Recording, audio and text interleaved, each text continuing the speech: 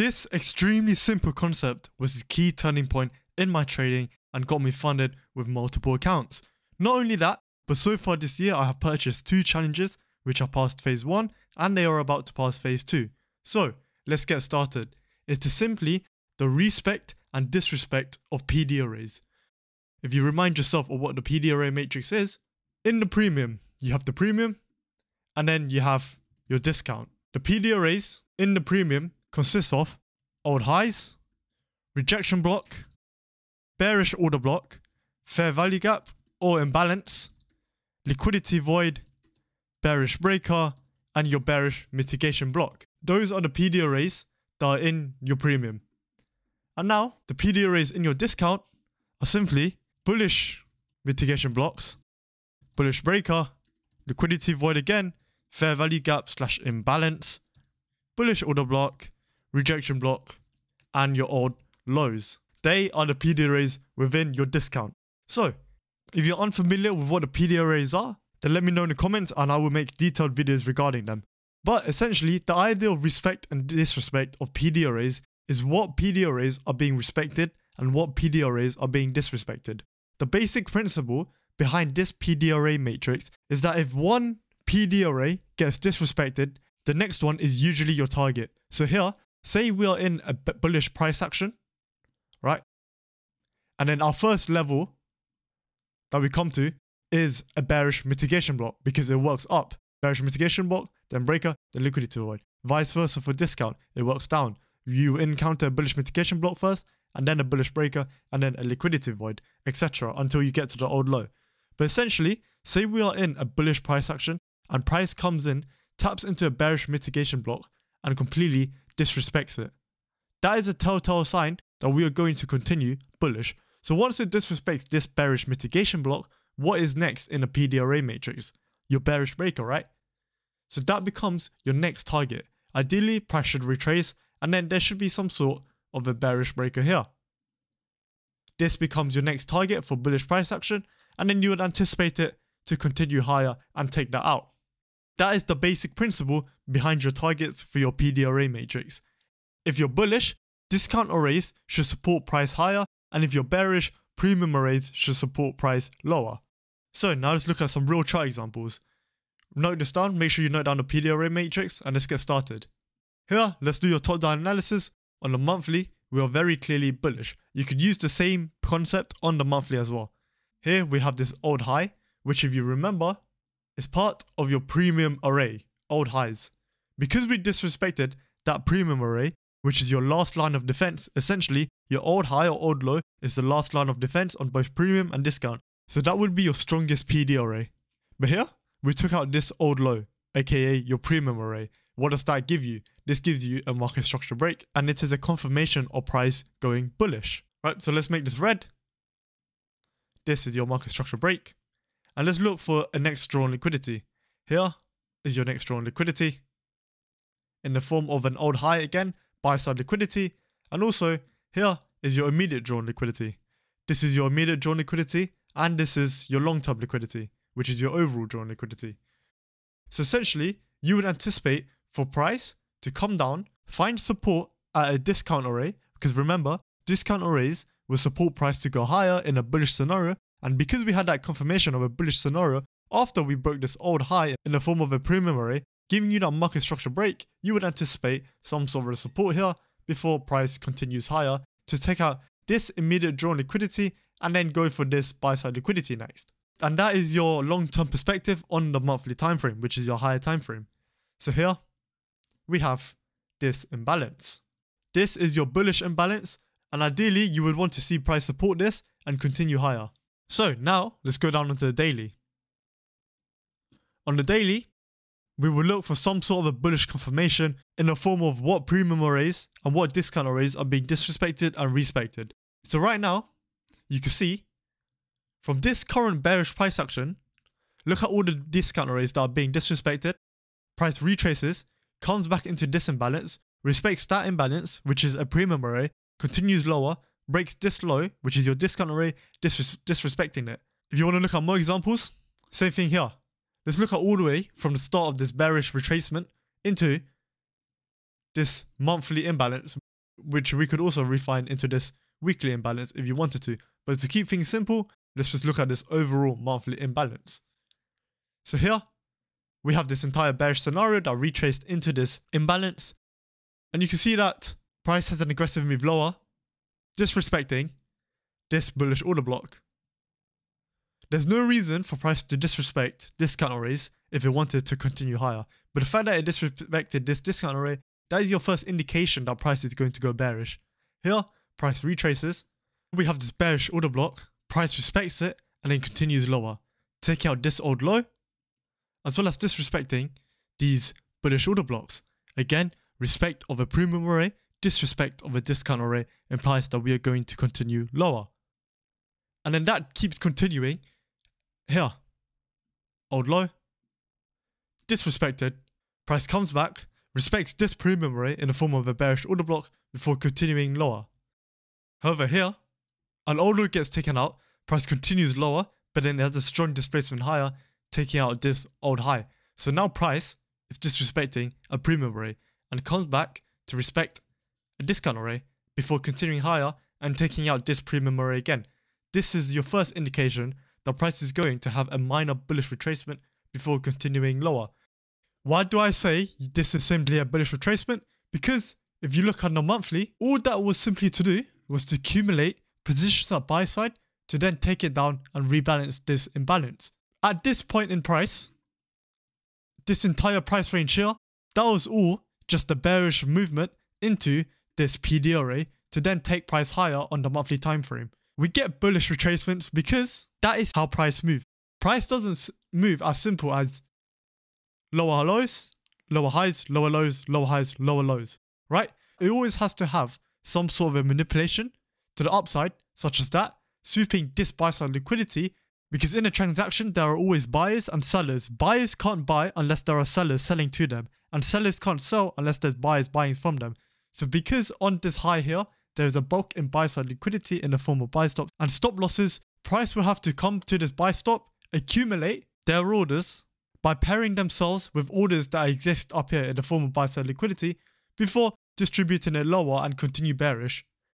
Price can't just move as simple as this basic market structure because eventually it will run out of counterparty liquidity to pair up their positions with. So, hence why price moves the way it moves. And this bullish price action that we had here was simply a retracement to do exactly that, accumulate positions above these buy side liquidity before distributing it lower into this monthly discount array. Now that that's tapped into this monthly discount array, let's see all the PD arrays that we have here for this overall leg. Here, starting off with your old high. This is your most extreme premium array. And here you have your bearish order blocks or mitigation blocks. This is your imbalance that is left behind. And those are the free PD arrays. So because we tapped into this monthly discount array, we would want to anticipate some sort of a bullish reaction off of it to take out our two draws on liquidity to follow your overall higher time frame bullish sentiment. So let's go back down onto the daily and see if that's what we get. As you can see here, price has a full body closure past this imbalance, your first premium array. This is already a very early indication that we might go bullish from here after reacting off of this monthly discount array. So let's keep playing price out and see what it does. Price then disrespects this order, bearish order block and also eventually this swing high, which is your old high in the premium range. This gives you your market structure break. Remember to always ask yourself this, what premium arrays and what discount arrays are being respected and disrespected? If premium arrays, like what we had here, are all getting disrespected, we had three premium arrays, imbalance, bearish order block, and an odd high get disrespected, then what is price going to want to do? Go bullish. Because there's no reason for price to disrespect premium arrays if it was to continue lower. Here, this is further reinforced. We had this imbalance, which is on your discount range, stay protected. Again, premium arrays being disrespected, discount arrays being respected. That means we are in a bullish trend. So continue playing price further. All these bullish order blocks should stay protected and support price higher if it was to continue the bullish trend. As you can see here, we have taken out this buy side liquidity, which is our immediate draw on liquidity. Now that it's taken that out, what we could anticipate is some sort of a retracement to continue higher, or it could just keep expanding higher and taking out this buy side liquidity. But it's important that we go down onto the daily and apply the same concept that we have been talking about in this video. Even though price has a high possibility for retracing after taking out this buy side liquidity before continuing higher, if on the daily, discount arrays are still being respected and premium arrays are still being disrespected, there is no reason to try and take shorts and try to catch the top. It is simply low probability and instead you should always position yourself on what side is being respected. If I keep playing price out here, here we have an imbalance. Remember, we took out this buy side liquidity. If price was to go lower and show us that minor retracement before continuing higher, ideally, it should disrespect this discount array to show the market it's favoring shorts. However, if it respects this discount array and continues to break premium arrays, that means we are unlikely to see a retracement and price will just continue going higher. That is what we had here, supported by your bullish displacement. Here we have this order block. Bullish order block should support price to go higher. And it does so here. Again, a premium high gets disrespected and price is still showing support at this discount level. Now, if you look at all the PD arrays that are in play, within this price range, we have this old low in the form of sell-side liquidity. And then now we have this old high. Since it is consolidating around this area after taking out the buy side liquidity, there is a potential for price to have AMD, which is accumulation, manipulation, and then distribution. And that is something I would like to see here. We have the sell side liquidity, the price could come and manipulate under, and then continue higher. Just because it wicks below this sell side liquidity doesn't mean it gets disrespected. If it was a body closure past this old low, then I would be wary and I would consider that as disrespect. But if we simply get a wick below this sell side liquidity to accumulate more positions to distribute it higher, then that is simply seen as a sweep, and this discount array, you could say, still gets respected. Right, and that is what we had here. If I replay tool to this current price action, this is where you would be able to look for your entries using the same concept. Hourly, let's go into the hourly. What arrays are being disrespected and what arrays are being respected? Remember, price, the bodies of this price is still respecting this bullish order block. All we had was simply a sweep below this sell-side liquidity to accumulate more positions to bring it higher. So if you go back down to the hourly, this is where we had our sweep. And you can see price, disrespect premium arrays still. This gave you your market structure shift. It comes down, respect bullish order blocks, which are your discount arrays. And then it just continues higher. To conclude, discount arrays are being respected on the hourly, premium arrays are being disrespected. So on the hourly, we are bullish. Backed up with the fact that on the daily, we are seeing the same thing. A respect of discount arrays and disrespect of premium arrays. This is what why entry would be on hourly. As you can see here, Asian session. We sweep out Asia's low. It takes out this high in the form of a premium array. This becomes my market structure break. So because it disrespected this premium array, what would you anticipate? You would anticipate if premium arrays are being disrespected, you would anticipate discount arrays to stay respected. So look what we have here. We have a breaker block, a bullish breaker block, which is your discount array. Paired up with the fact that here we also have an overlapping imbalance. This is where my entry could be. Because I'm anticipating discount arrays to stay respected and premium arrays to continue being disrespected as well as it being aligned with my hourly bullish direction and my daily bullish direction. I get tagged in, and then it expands higher. This would be my overall draw on liquidity, but I would be looking to take partials at the next premium arrays. So here, we have this bearish order block. I would take partials there for 2R, right? And then I'll leave it to go for this. This would be my next partial. And then your rejection block and then your overall draw on liquidity, which is the old high.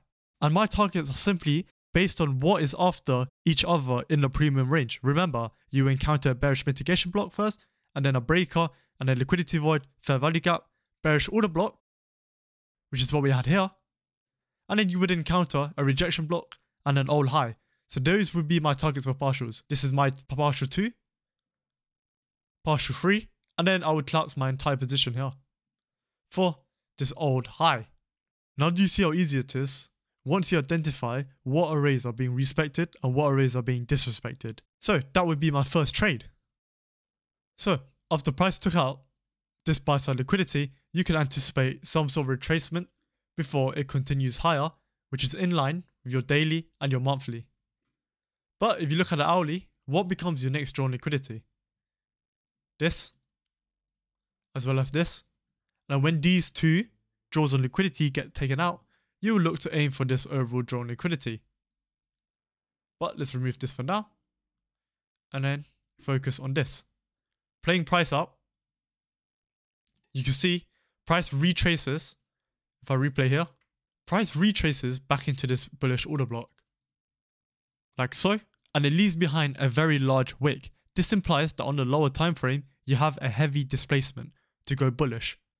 So let's go into the 5 minute, and that is exactly what you had here. Price wicks that bullish order block, the bullish order block being your discount array, aka respecting this discount array. And what does it do when price retraced after taking out this buy side liquidity? It generates low resistance buy side liquidity. So price coming to this level becomes even more convincing due to the low resistance liquidity that resides above these highs. If I go down onto the 5 minute now, utilizing your same concept. Here, so let's make this more clear. Imbalance. Price has a full body closure past that imbalance, premium arrays disrespected. Price then retraced, and then it shoots up again, breaking this high and this high. This is the premium array, and that gives you your market structure shift. Now this is where you could position yourself for longs, because premium arrays are being disrespected and discount arrays are being respected on the 5 minutes. So the 5 minute direction is bullish. Yeah, you have this imbalance that you could use for your target, drawing that out. Stop loss just below there. You target this. Alright, so it taps us in. And then it shoots off for that target. What could your next target be? This could be where you take your first partial.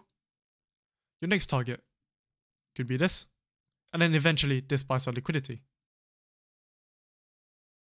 So playing price out all the way, you can see, you can see how smoothly price moves to your overall draw on liquidity. And if you look here at the remaining price action that we haven't covered yet, volume imbalance, discount array, respected, old high, disrespected, large order block here, respected, continues higher, old higher here, disrespected. And they are all your premium arrays being disrespected and your discount arrays being respected. So that concludes this video. If I type out all the PD arrays again, these are your PD arrays. And the respect and disrespect of each PD arrays, you could use this to frame your overall higher time frame narrative all the way down to your entries. It is so simple. All you have to look for is what PD arrays are being respected, what group do they belong to, whether it belongs to premium or discount, and which ones are being disrespected. If a fair value gap in the discount is being respected, what would be our next target? You would anticipate the bearish mitigation block to be disrespected, and then the bearish breaker, liquidity void, and so on. Vice versa for premium. If we're in a bearish scenario and a bearish order block gets respected, it is likely that we are going to continue lower and disrespect discount arrays. And that is the main idea behind this concept. So, I hope you guys found this video helpful. If you did, please like and subscribe. If you guys have any questions or suggestions for future videos, please leave them below in the comments. Like always, take care and I'll see you guys in the next one.